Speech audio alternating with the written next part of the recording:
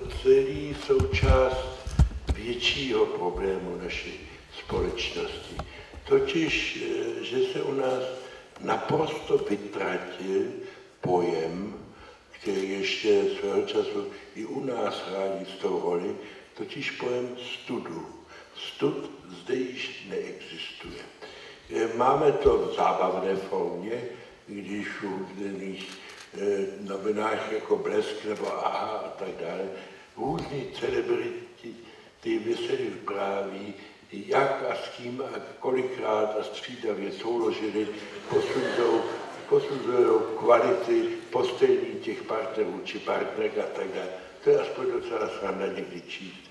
Už mé, méně zábavné je, když člověk je v Praze eh, a vidí naše nejznámější tulenáře, korupčníky a zloděje eh, se prohánět po poměrně úzkých pražských ulicích holnými terenáky parkují na místě, kde to je naprosto zakázaný a nestydějí si vůbec.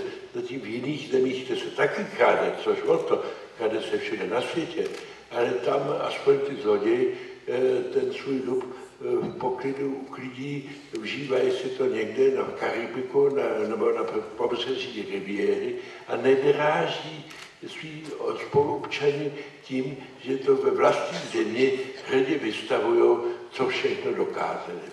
A poslední až tragický tedy jev to, to, této ztráty studu je, že příslušenství ke komunistické straně, jméno komunistické, byť, jak všichni známe, je vinen na, v naší zemi na nesčetných popravách, umrtích vláhy, zničených existencí a tak dále.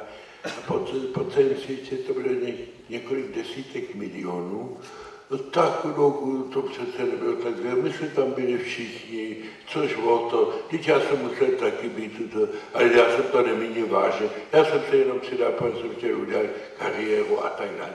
Prostě eh, je to tak, že se to všechno bere jako součást českého folkloru, eh, že jsem byl komoušem a nikomu to nevadí, což o to, to jsme dělali horší věci. Prostě stud u nás neexistuje.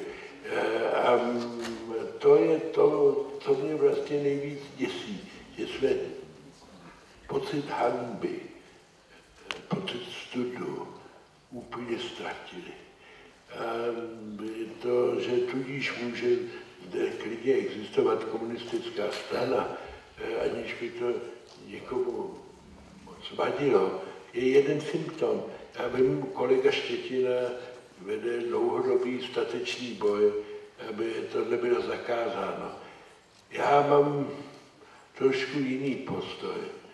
Dokavat by se to dosáhlo pouze nějakým zákonem, vyhláškou nebo jiným, nebo dokonce soudním rozsudkem, tak je to sice hezké, že aspoň nás to nebude dále provokovat, ale potěšilo by to mě víc, kdyby eh, soudruzi byli nuceni všeobecným pobouřením, eh, všeobecným zděšením, že eh, identifikace se vraždami eh,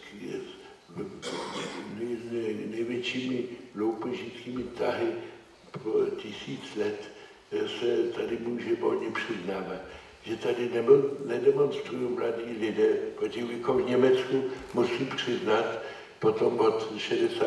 let, kdykoliv se objevily nějaké symboly nebo nacistické strany, tak tam e, studenti demonstrovali nebo aspoň stáli se svíčkou, aby vyslovili svůj nesouhlas.